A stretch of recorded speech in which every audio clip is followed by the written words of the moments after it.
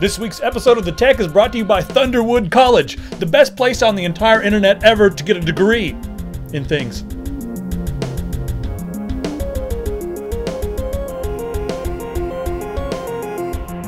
So, um, you know, I, I didn't get a degree because I'm a dumbass, so I decided to go online to Thunderwood College because that's really how you do it these days. You go online, you pay a bunch of money, you get a degree.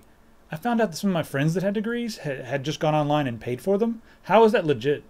That's not legit, as it turns out. But a lot of people, that's they do. That they pay the money. So anyway, there's Thunderwood College now. So I went on there, and it's free. It's like the first one that it knows it's a scam. So it's like, you know what? You want a diploma?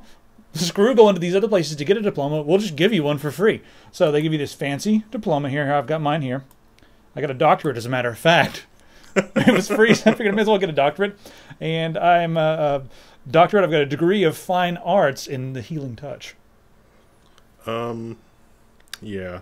I mean, you can pick whatever you want. It doesn't have to be like you know, degree in like health or science or anything like that. You can pick fine arts, and then you can pick healing touch. So You know they had this kind of thing in, on BBSs like back in like 1992. You could totally download a diploma off of BBS and you know fill it in and print it out on your Epson LQ850 dot matrix printer. I kind of want to go to a, like a job interview with this thing, and like with the most absurd diploma you've ever heard of, like neuromuscular anthropological astrology, or something like that. Let's talk about some news.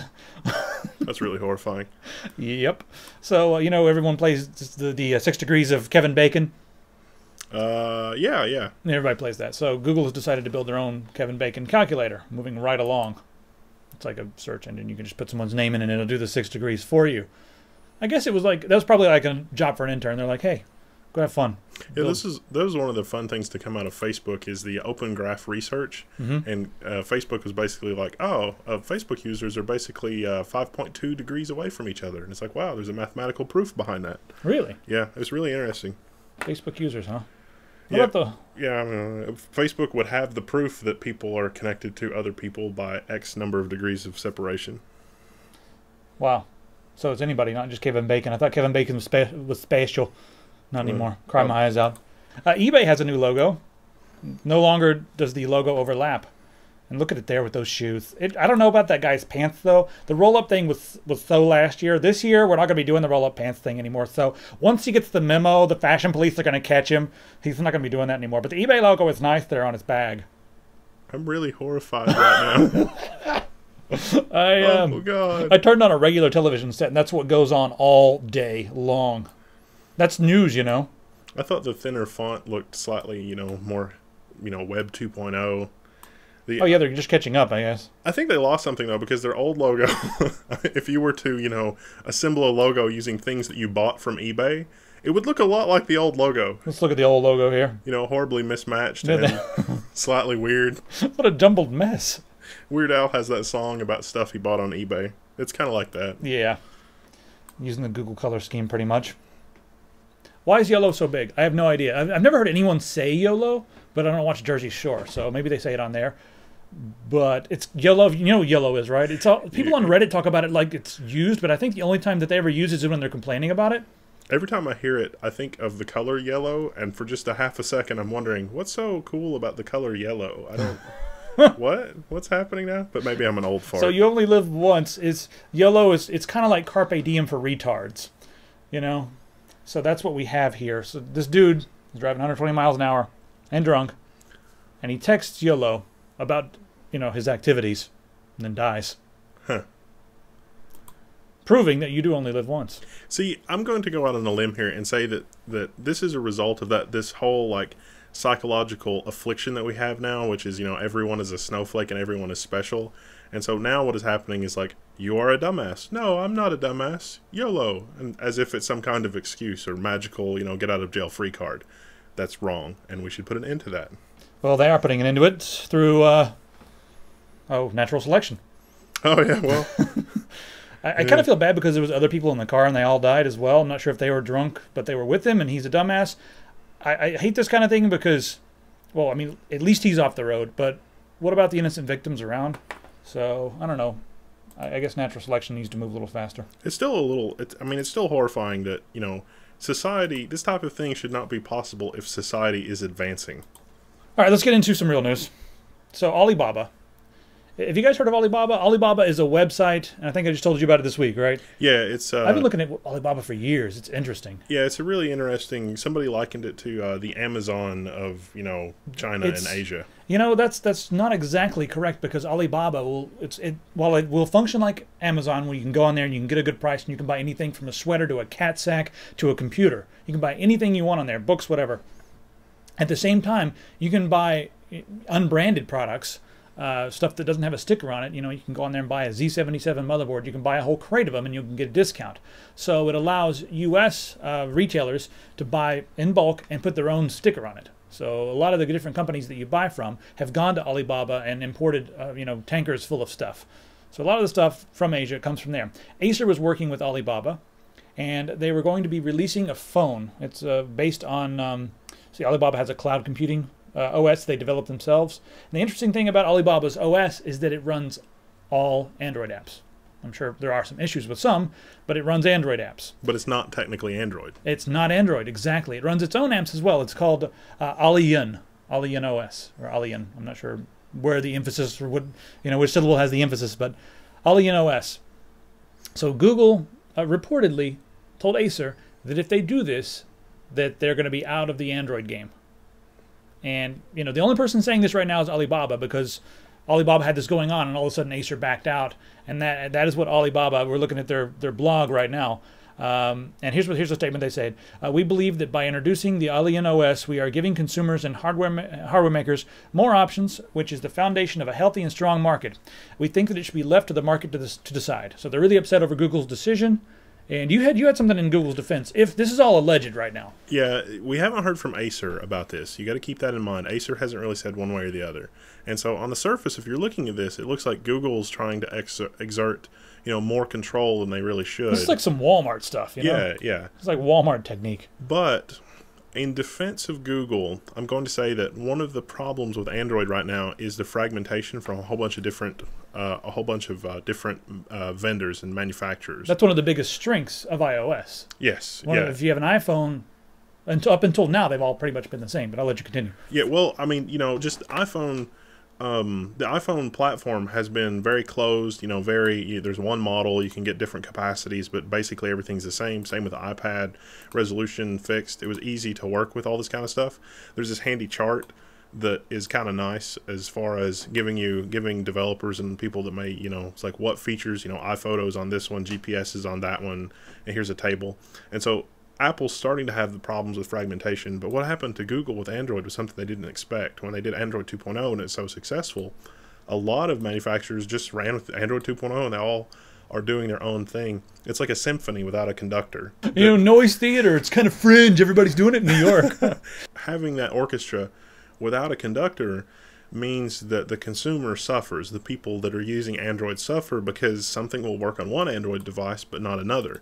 And that this custom operating system that runs Android really strikes to the heart of that because you can run Android apps. yeah, on- right there's the OS. Look at that. So, yeah, I mean, It looks like every other OS. I mean, ever. I, w- I would like to see the business case and the use case for for what they're doing with their own custom OS to see if it's really a customized Android OS or see if it's something from the ground up. Because my suspicion is that it's just a customized Android OS. Right. And Google, if they can, if Google can avoid fragmentation and get the carriers to leave them alone long enough to allow Google to update the software on your on your handsets, Google's going to take over the world. I mean, with their with their phones, if they can push out an update for ice cream sandwich or jelly bean or whatever, To all phones. and everybody To can just all go to phones. Google and download it, that is the holy grail. That's what they need. That's what they're working on. If you guys haven't seen Alibaba, I'll open it up real quick just before we move on. So this is Alibaba. Does kind of resemble Amazon, but you can get, you know, for instance, you can get like this stand for your iPad. You can buy one, or you can go and buy a whole tanker load and put your sticker on it or whatever. All right, let's talk about some legal stuff. Uh, unfortunately, the U.S. House has passed or has uh, reauthorized um, Warrantless wiretapping. Yeah, FISA. So FISA has uh, been reauthorized. There's going to be five more years of warrantless wiretapping, email uh, monitoring. This is crazy. Uh, there are a few champions against this in Congress, and that, that's always a good thing. Uh, Jerrold Nadler, he's a New York congressman, said that the American people deserve better. And he's totally right. I can't believe I live in a country that has to spy on my email. So they're looking at our notes right now. Earlier this week there was a massive GoDaddy outage, and at first, Anonymous kind of like came up and said, "Hey, we did it because GoDaddy uh, they supported uh, Pipa and SOPA. They've supported all of that nonsense. They're a terrible company. They're the biggest registrar um, there is, the biggest ICANN uh, accredited registrar. I'm not sure if that makes them the biggest in the world or not, but um, yeah, they, they support Pipa and SOPA. And every time a client comes and they're like, "Hey, we're on GoDaddy," I'm like, "Okay, there's an there's an immediate frustration fee built on top of whatever fee I'm going to charge them if I'm going to be designing a little website, doing some side work or something." So I'm saying don't use GoDaddy. However, it was not an attack, a DDoS attack, or anything like that. It was incompetence on GoDaddy's part. Yeah, they had some sort of internal router failure or router misconfiguration or something like that. GoDaddy went down, and pretty much all of the websites that use GoDaddy as a registrar went down. That is unreal. For the biggest to go down like that, hugely yeah. incompetent. Yeah, interestingly, after they came back up, they were using uh, VeriSign uh, for DNS. So I don't know if that's a permanent change or a temporary change, but if you do more it, like, oh crap, get it, some, do something, hurry. Yeah, pretty much. I mean, if you do the if you do the Whois on the, it was a DNS failure, and if you do the who is and try to figure it out, then all of the DNS traffic was routed through Verizon at the time, or uh, not Verizon, VeriSign. The, all of the DNS traffic was routed through VeriSign at the time. Hmm. Interesting. I mean, you, you know something, guys. If you wanted to like judge a company, take a look at the top of the company. Look at the CEO and look at the CEO's moron children. like over in Africa, shooting endangered animals and yeah, that was fairly. I mean, come on now, really, honestly, it's like I'm wealthy when you know blah blah blah dot com. You know, I've got a I've got a dot com company. What's the first thing we're gonna do? I'm gonna go to Africa and kill a rhino. kill a rhino, then I want to drag a leopard around behind the car. That's almost like those Adelphia guys having like the uh, the twenty thousand dollar elephant foot umbrella stand, and it's like you know that there's a comedian and he's like, you know, my Oh, my, my parents have an umbrella stand that was twenty thousand dollars. Uh, It's called their car. What's his name? Uh, Uh, Lewis Black. Lewis Black. Yeah. they stole. Was it like several billion dollars or whatever? Yeah, yeah. He's like, well, they stole this much money because you know you gotta buy shit. Yeah, that's great. yeah. Okay. The iPhone 5 has been announced. We're going to talk about this for just a minute. Uh, There's a lot of people that have been telling me to shut up about Apple. I cannot shut up about Apple. Apple is extremely important right now. They're in the middle of something that's way bigger than Apple, the broken patent system. That's why we're talking about Apple. Not because we want to talk about Apple themselves, but because they shape so much of the world around them. Therefore, let's talk about the iPhone 5. Uh, for me, it was a bit underwhelming, not a huge step forward, and it also brought uh, the fragmentation to the table, which we just talked about, because the resolution is a little wonky on this thing. Um, also, I was expecting the specs to be quite a bit crazier than they were. I will say that the new CPU is ridiculously fast. Uh, I'm not sure how it competes head on with the Snapdragon. You know, I haven't seen the two. You know, the quad core is also really nice, but the dual core Snapdragon is just about as fast as the quad core Snapdragon in the Samsung Galaxy Look, S3. all, all you really need to know about the iPhone 5 is they made it taller, so now it has a four-inch screen, and by taller I mean you get an extra row of icons. Yes. So it's a it's a weird resolution, and old applications are now going to have legacy black bars. The screen is closer to a 16 by 9 resolution, so you can watch movies in 16 by 9, and that's kind of nice. Yeah, 1336 by 640, so it's not 720p like all the Android phones that are out. They basically had to make it bigger to fit battery and LTE electronics. And in a delicious twist of irony, uh, Samsung and others will be suing because of the LTE circuitry that's in there because Apple doesn't have the right to use that technology apparently. Everyone said they were going to sue, and Apple didn't care. That's the thing. Apple, they fight for their own patents, and then when they're infringing someone else's patents, they're like, just go ahead and do it. We're Apple. Screw them. So I, I don't like that cavalier attitude from them, you know, especially when they just want a massive lawsuit. They, they don't care. Yeah, it was kind of crazy. So anyway, I put uh, you know like a comparison up. Uh, of course, the, the Samsung Galaxy S3 that is listed on Tek Syndicate uh, on this chart that I stole from. Where did I steal this from? Mashable.com. Uh, that's the, the the specs on this are from the U.S. version. The European version has a quad core, which is awesome, but not that much faster. Well, the reason the US version doesn't have a quad core, I feel like I have to point this out, is because the American cellular network is so crappy that your phones have to put out so much cancer inducing radiation to actually make it to the tower that it runs the battery down. So I mean, come on, really? There's there's not enough power to power a quad core and a tower that's on the other side of the moon that you have to hit. So I mean, honestly, the iPhone 5 does have more battery life, but still less than the the, the Droid RAZR and the Samsung S Gal- the Galaxy S, but more than the 4S. It- it- well, but it's still you know on par with the 3G. So like the 4S went downhill a lot, and now, And now we've come back up to where we used to be. I mean, honest to God, get it together. Apple. So it's yeah, it's not a big step forward, and uh, I don't know. I have a hard time endorsing any phone that doesn't have an, a storage you know slot. Well, anyway, let's move on. I'm not going to yell about that too much. If you want to buy one, you're going to buy one because you're not going to care. You're just going to think that it's better. So Jimmy Kimmel did this thing where he um, he went out on the streets and told people, a lot of the people that owned iPhone 4Ss, told them that they uh, they had the new iPhone 5, and he would you know ask them to take a look at it. Funny you guys have to see that. yeah, the funny thing is, I'm going to play a second of it. The funny thing is, is that there was no iPhone 5 present because they don't have any iPhone 5s yet. They were giving people an iPhone 4S, and just the idea that they're holding a new Apple product, of course, they love it, and they say it's better than the 4S that's in their pocket. It's so much faster and lighter. They've got the same phone in their pocket. They're being. Uh, let's just play and see some reactions here. The new iPhone 5 just came out today. We want to know if you'll take a look at it. Tell us how it compares to the last iPhone. I'd love to. Oh, it's way better. Yeah, it's nice. That's definitely noticeably better. It's a little, a little thinner. Mind you, that guy has an iPhone 4S. Seems a little bit faster. Yeah. Faster, lighter. Feels uh, heavier. Feels heavier. I think so. A lot lighter than the last one. It's a lot faster as well. Mine's gonna take forever. So this one's faster. Yeah, definitely faster. Right on. Oh, it looks very nice. Very nice, very updated. Oh my god, it feels a lot lighter and just more, um, just a lot higher quality. And it's got, um, if you drop it, it looks like it's not gonna break. Like this one has a million times. The screen is clear, HD. Colors are brighter. Play it. Oh, it has a There's video no hope for front and back. society.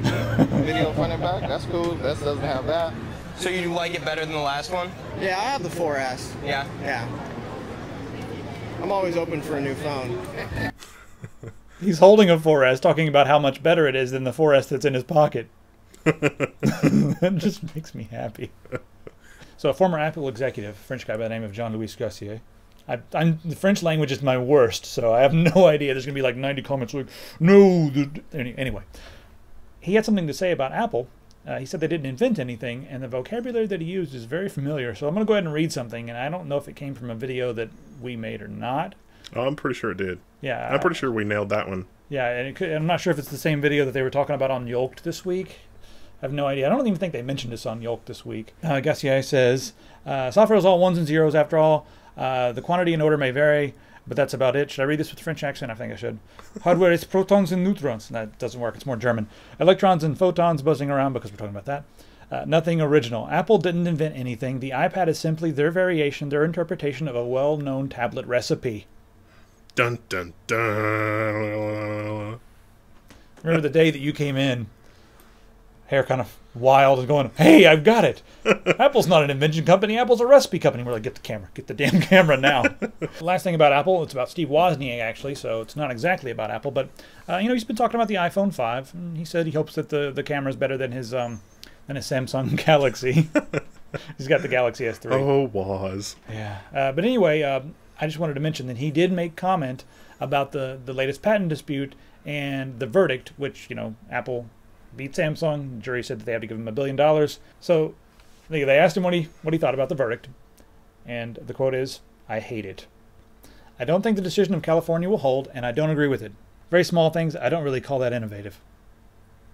Yeah, you, you the okay. Let's keep in mind the context of a patent. A patent is a 20-year government-granted monopoly. That's a pretty significant thing. A 20-year monopoly versus the scope and scale and engineering required for the invention. I don't know. It, it doesn't seem like that there, there's a comparison between the two. Well, it's a bit different if you have some sort of an invention like uh, that's not a rounded edge on an icon. You know, that's they've got to they've got to work on the patent uh, situation. It's completely out of out of hand. Um, and yeah, well, speaking of that, we already mentioned that HTC is going to be giving Apple a hard time. Their patents, uh, judge, you know, everyone's like, I, I got an email. Someone was like, dude, you need to shut up. Uh, HTC has got nothing on Apple. Samsung has nothing on Apple. Uh, well, a judge has already taken a look at HTC's patents, and he says they are likely valid. So uh, essentially, um, he said he has to be pretty darn certain that a U.S. patent is invalid, and right now they look likely valid. Well, that means that there's a good chance that there may be an injunction blocking the sale of the iPhone 5. We're really beating this topic up, but that's what's going on in the world right now. Google hasn't really developed a massive patent portfolio. That's why they just spent $12.5 billion to acquire Mo- Motorola Mobility. That's very hard to say. Motorola Mobility, Motorola Mobility. I can't do it. Say it five times. I'll send you a prize or something. Because they needed those 17,000 patents. They really didn't focus on that. Um, and here, uh, David Lai, is that Louis. say Louis? Louis, I think. I think. I was talking to Bloomberg, and he had an interesting quote. He said, we, we didn't really believe rounded corners were patentable. Sort of a wake up call for Google. Uh, we just didn't buy into the notion of protecting your IP, and it was like a wake up call. So, Well, to be fair, a lot of what the core innovation is inside Google are secret. And so the trade off for patenting something is that the recipe and the design that goes into the patent is that it becomes public knowledge. right. And so there are a lot of companies that have, you know, formulas for chemicals and formulas for this, that, and the other, and they don't patent their formula because they'd rather keep it secret. Right. But at the same time, now Google knows that you can patent rudimentary things like rounded edges, and that's going to be dangerous because Google could patent the entire world. Recently, we've been talking about a three strike system that a lot of the ISPs are going to be instigating here in America, and uh, it's already in, in, taken effect in France, and they've got their first conviction. And what's even stranger is that the uh, the gentleman being convicted wasn't even doing wasn't even downloading anything. He was convicted for some Rihanna songs that his girlfriend was downloading. She came up and said, I was the one downloading them. She was trying to, you know, translate things through Google Translate. There was a language barrier, and he admitted to, quote unquote, not protecting his connection enough to stop the download, and therefore has been been fined.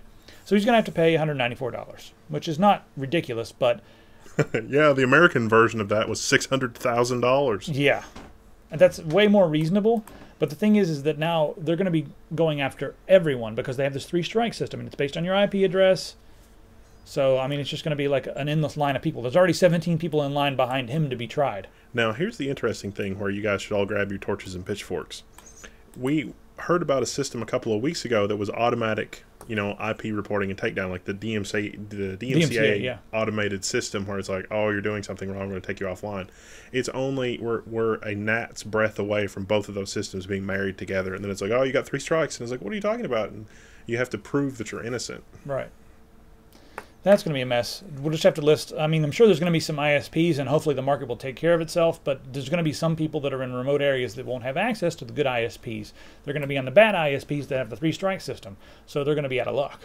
And that's not good for the rest of the world. It's an unpopular opinion, but I'm of the opinion that once you've licensed music, like once I license a digital copy of, you know, a song or something like that, I should be able to get it in any form that I want.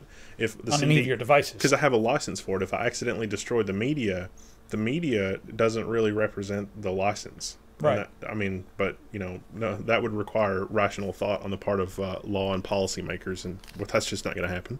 All right, it's time to loosen up. Talk about hardware. I'm actually very excited to talk about some hardware because the GTX 660 came out this week. Came out like well today. You'll be watching this video like tomorrow. Um, so that's really awesome. There's been a lot of reviews on the internet.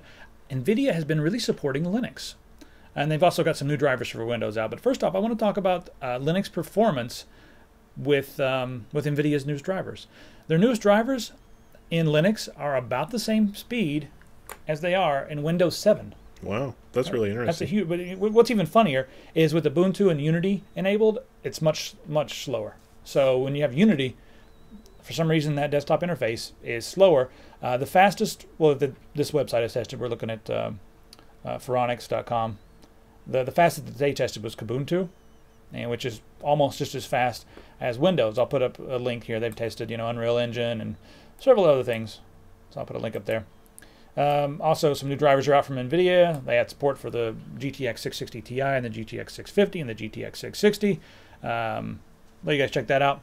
I, I want to talk about the GTX 660 for a second and talk about how it is in comparison to the similar price cards. Because a lot of you guys are going to be asking questions like, oh, this new one's out. Should I get that one or should I get like a 7870 or a 7950 or a 7850 is about the about the closest as far as price goes.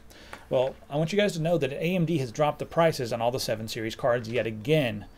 So it's going to be really, really competitive, like insanely competitive. Um, break that down for a second. All right, so the 7870 comes in at around 240. I just got two of those for 200 bucks each. They're on Wow. sale for one ninety nine each. So I ordered two of the Radeon seventy eight seventies. I'm going to put those in a system and test them. I'm trying to get a couple uh, GTX six sixties. I've talked to EVGA. Maybe they'll send some. Maybe not. I'll call MSI or somebody else. I don't know. But I want to put those head to head because I haven't seen too many charts showing two versus two.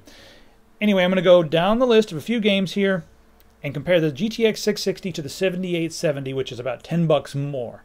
So do you get anything extra when you spend 10 extra dollars getting a 7870? Uh, it's definitely better than the similarly priced 7850, but in Battlefield 2, the GTX 660 is about 2 frames per second faster. In Crysis 2, it's about the same speed. I mean, like, one's one second faster at one resolution, and then a different resolution, the other one's one frame per second faster. In Deus Ex, it's like one to two frames slower. That's Human Revolution. In uh, in Hard Reset, it's about two frames per second faster than the 7870. In Just Cause 2, about three frames per second faster.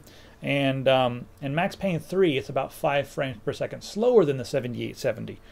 Uh, the temp is nice, 61 on full load, so you can push this, you can overclock it. That's really nice, and 30 at idle. Uh, the 7870 gets around 70 degrees at full load, so that's a hot card. You can overclock it a little bit, but I would not recommend uh, overclocking that much. Um, I mean, all in all, with an overclocked 660, you're in really good shape. If you overclock it, you can get an extra four or five frame, frames per second, and that makes a pretty big difference, especially if you look online and it's 10 bucks cheaper than, than the 7870. Now, why would you go with an AMD? If you're a Bitcoin miner, the OpenCL is stupid fast. If you want to do like folding at home, the AMD is faster. Uh, if you have programs that take advantage of OpenCL, I really like the AMD card. If you have a program that uses CUDA, well, then you can use the NVIDIA and also NVIDIA PhysX. So that's your choices. If you have a little bit extra money, go ahead and get a 7950 or a 670. Those are better, but they're a little bit more expensive. Check this out, guys. This is really ridiculous. So um, Western Digital is working on a hard drive that's going to give you extreme capacity. Helium filled? Helium, drives. yeah, Helium. helium filled. It's a noble gas, and for those of you out there that play the stock market, you probably should invest in helium because we don't capture it off natural gas wells anymore. The reality with helium is that you know uh, most of the helium comes from the that's being sold today comes from the national reserves because we thought we were going to have helium dirigibles, and uh, that never happened. So it's like, oh, we got all this helium, but now we don't. We're running out. So invest in helium. Now, helium dirigibles would have been great. I mean, Yeah. everybody running around in like pocket watches and stuff. Oh, and for you smartasses out there that are like, "Oh, why would they? Why would they not put it in a vacuum?" Blah blah blah. Well, it turns out hard drives actually need some kind of a gas in there because they use the Bernoulli effect to have the heads float just above the magnetic platters. They don't actually touch the platters. Well, that makes sense since it's such a lightweight gas. I mean, why didn't they think of this earlier? Well, I think they had, but it uh it has less turbulence and um, a whole bunch of other things, and it it works better than air. It seems like the technology has been in, around. If, if you look really carefully on a modern hard drive, you'll actually see that they have a breather hole to maintain air pressure equalization. Mhm. There's a little a little tiny HEPA filter and you know a uh, an eraser sized hole, and that's so that as the air pressure changes around the hard drive, the hard drive can breathe. You think we'll need to like go pump extra helium into our hard drives like a basketball? Like, oh, no, we gotta put more helium in. No, if your hard drive ever leaks and the helium gets out, you're gonna have a bad time. Yeah. All of a sudden, your graphics card is gonna be like, be like, hey, why does my graphics card sound like a chipmunk? Yeah, helium. Oh, the helium's out. Those are the those are also enterprise grade hard drives, so they've got like seven platters in them, which is nuts. Good lord. Yeah. Yeah. Uh, just a little bit of science for you guys. Now, we've all said that, that neglect is bad for children, but I wanted to mention this, to, especially like today, because there's so much media, and it's very easy just to take a child and be like, oh, just put that in their hands and, like, here, play this video game or go in the other room. I've got stuff to do, like grown up stuff, like play on Reddit all day or play WoW. Or uh, Neglect, scientifically now, is bad for children's development. It, they have, it, it can have extremely negative effects on their mental development, especially. So if you don't want to raise a moron, hang out with your kids. That's all I'm going to say. I don't want to preach too much on that, but I just wanted to say that the science that now there's science behind this. There's studies. Neuroscience. Yeah, neuroscience. Not like we did a study and these kids were idiots and these were smart and these got petted by their parents and these got no. This is like more folds in the brain type studies. Like their brains develop differently. So pretty cool stuff. I'll leave a link to the article there so you can take a look at it. All right, let's talk about gaming. Gearbox wants to make more Duke Nukem. So in like 2018, no, no, no, probably like more like 2027. Around the time of Singularity, We're gonna see like the next Duke Nukem game, and by that time, society's gonna be so completely stupid that you'll be able to like in Duke Nukem, you'll be able to go to Starbucks and get a hand job. The franchise is probably not completely dead, but after Duke Nukem Forever 2000, it probably will be. I remember playing the demo of that, and like they the, the humor was so forced in that game. It was just like, I'm gonna say something crude because that's what's funny. That's not what the old the old game was more. I mean, it was crude, but it was subtle. They didn't get it at all. I don't want them to make another game. don't do that. I pre-ordered it, but my receipt was so illegible that they wouldn't let me have it. Are you serious? Yeah. I mean, when I say I pre-ordered it, I mean I pre-ordered it like 50 years ago. It was like part of your college pension or something. yeah. oh, I've also got a copy of Duke Nukem pre-ordered. Yeah, well, the miracle there is I was actually able to find the receipt, but it was unreadable. And then, It was just, yeah, yeah, yeah. Face palm is the appropriate response. well, at least you were saved. Yeah. You had stuff to do otherwise. Um, if you guys ever, you ever played Baldur's Gate? Uh, yeah, one or two? yeah, a long time ago. Yeah, There's a mod team here. I'm just going to put a link to this, but they're remaking Baldur's Gate 2 and the Dragon Age uh, in the Dragon Age uh, the engine. They're remaking Baldur's Gate 2 in the Dragon Age engine, and it looks phenomenal. It's in 3D, and there's a lot of kids out there that haven't played this game. The game's a lot of fun. One of the best RPGs ever made. Baldur's Gate 2 was a great game. I highly recommend you guys check this out. It's not finished yet, but it's moving along nicely. Speaking of mods, look at that countdown on the screen. You know what that countdown's for? Source engine, uh, Black Mesa Source. Yes. Yes. Man. By the time this video's online, people will be playing it already. I'm going to stream this tomorrow on Twitch TV, even though they don't pay me, those bastards. So, yeah. That is be that, would- What? that is be fairly epic.